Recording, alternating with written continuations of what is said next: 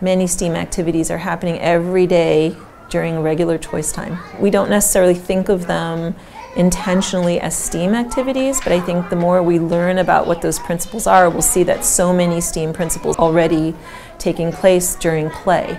The critical thinking and solving pr problems that are happening very often in preschool in a, an imaginative context of dramatic or imaginary play. A lot of collaboration, a lot of using vocabulary and words that will be either math, talking about what they're doing, building bridges, or they're using language of what they've done that is um, within STEAM language.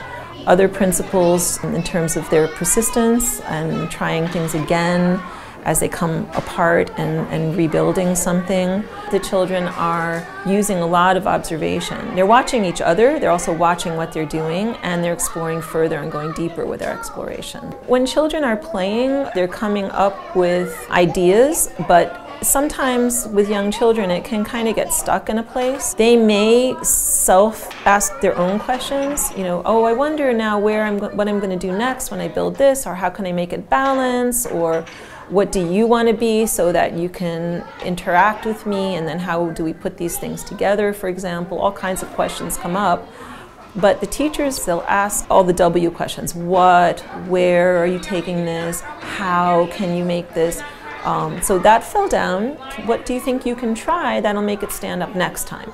So the questions are kind of a little bit like what you see the children doing with the blocks, propping things up or taking them further and scaffolding the play, and that helps the play go to a, a, deeper level or a higher level. You're seeing the children very organically playing.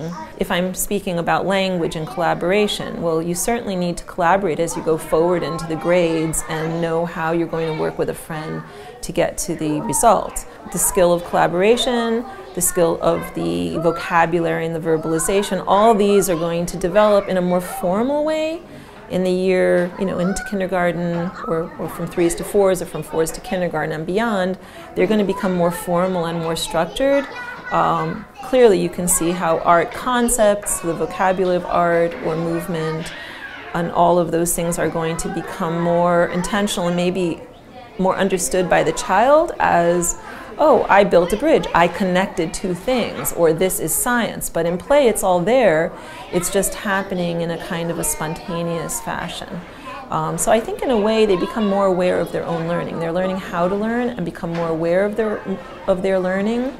And that's really the leap that fours make. I think they start to understand they actually study something, or and you can see it perhaps in one of the activities where um, Zoe, the teacher, is working in the orange room with a child creating a pattern. You can kind of see a piece of it there.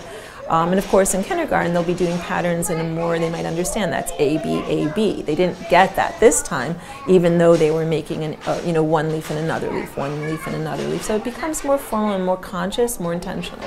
Activities at this age, they have to be experiential, they have to be hands-on, they have to be fun, they have to be with materials that are age appropriate and that there's not, you, you can see for example there are games, there are matching games, but they're on the level that provide challenge.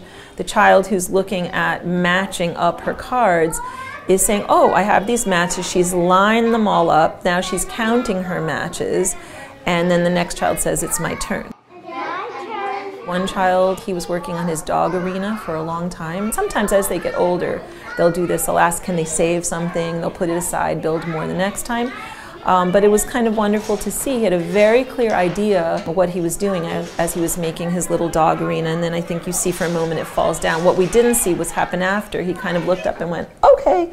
And he started building again. And, you know, buildings and blocks, they have that inherent. They're going to fall down try again or it happens or that's let's see what else you can do those are very much a part of a preschool um, vocabulary you know the teacher encouraging and then they internalize that and they can do that themselves or with one another any child who's learned how to collaborate and has learned how to experiment even simply by filling a cup of sand and seeing how how much this particular object fills the next cup up or that didn't do you know didn't fill up all the way because it's smaller all of the concepts that they are building they take with them and you can see it kind of seamlessly going into kindergarten. Pretty much every skill that they're learning is going to be able to be carried forward, that certainly is going to just lead in and, and build towards how they become more complex the following year.